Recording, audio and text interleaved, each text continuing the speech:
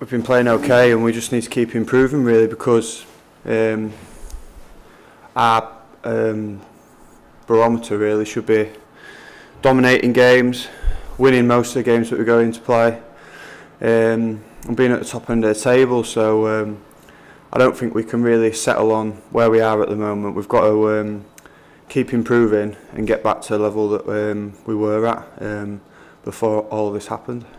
In the three wins, all of the goals have come in the second half. Yeah. Is there anything, if you're still looking for ways to improve, is there anything in the first half performances do you think that could be better? Yeah, I think I think there's positive and negatives to take out of that because, um, like I say, a negative is that we haven't scored. Um, but I think the positives that we can take is that we haven't allowed a team to, to score or get carried away, um, get out of our sight. We've always been in the game, um, and we've given ourselves a chance, and that's something that we've we've looked at.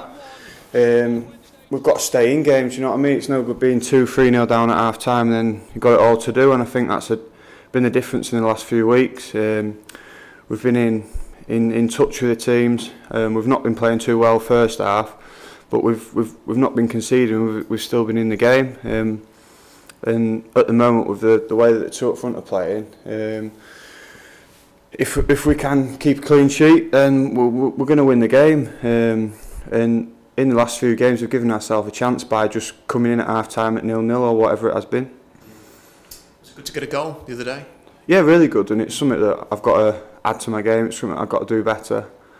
Um, I feel that I do try and attack every delivery um, that we have, and I try and try and get as close to it as I can. Um, and yeah, just that, that final bit of product's got to be probably a bit better, and it's something that is important, I think, as a centre half, um, that you do try and contribute um, at that end when you can. Some of the deliveries in the last few games into the box have been really good, haven't Yeah.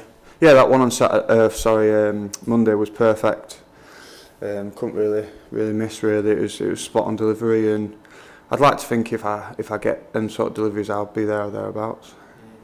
in terms of what you see from Fulham, they're a dangerous yeah. team, aren't they?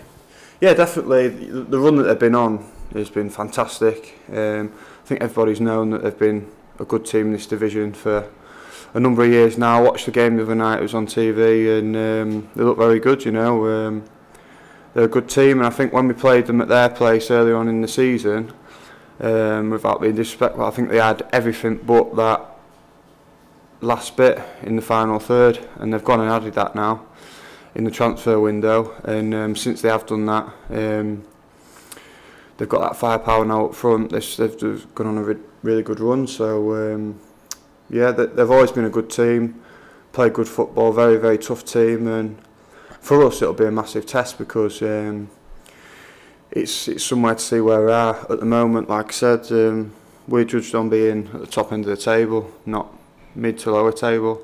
And we've got to strive to be um, as good as the Fulhams that are in this division.